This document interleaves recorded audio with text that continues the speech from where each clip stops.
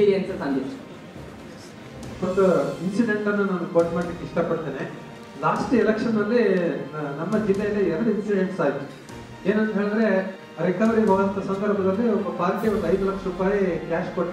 ಯಾಕಂದ್ರೆ ನಮಗೆ March end ಎಂಟು ಪಾರ್ಟಿ ಕೊಟ್ಟ, ಅದು, ಅದರಲ್ಲಿ ಮಾರುತಿ ಹಂಡ್ರೆಡ್ ವೆಹಿಕಲ್ ಹೋಗಿದ್ರು ಅದನ್ನ ವೆಹಿಕಲ್ ಅಲ್ಲಿ ಕೊಟ್ಟರು ಬಂದ್ರು.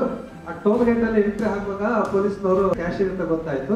ಬ್ಯಾಂಕ್ ಮ್ಯಾನೇಜರ್ ಇಲ್ಲಿ ಯಾರೋ ಕ್ಯಾಂಡಿಡೇಟ್ಗೆ ಹೆಲ್ಪ್ ಮಾಡ್ತಾ ಇದ್ದಂತ ಉದ್ದೇಶವಾಗಿ ಆ ಊರಿನಲ್ಲಿ ಆಗದೆ ಅಷ್ಟೇ ಒಂದು ಅವೇರ್ನೆಸ್ ಅನ್ನ ನಾವು ನಮ್ಮಲ್ಲಿ ಕ್ರಿಯೇಟ್ ಮಾಡ್ಕೊಳ್ಳೋದು ಭಾರಿ ಇಂಪಾರ್ಟೆಂಟ್ ಇದೆ. ಲಾಸ್ಟ್ ಟೈಮ್ ಒಂದು ಐ ಟಿ ಆಂಗಲ್ ಅಲ್ಲೂ ಕೂಡ ಕೆಲವು ಸಮಸ್ಯೆ ಆಗಿದೆ. ಒಂದು ಐದಾರು ಇನ್ಸಿಡೆಂಟ್ಸ್ ಆಗಿದೆ ನಮ್ಮ ಜಿಲ್ಲೆಯಲ್ಲಿ. ಸೊ ಅದನ್ನ ಅವಾಯ್ಡ್ ಮಾಡ್ಲಿಕ್ಕೋಸ್ಕರ.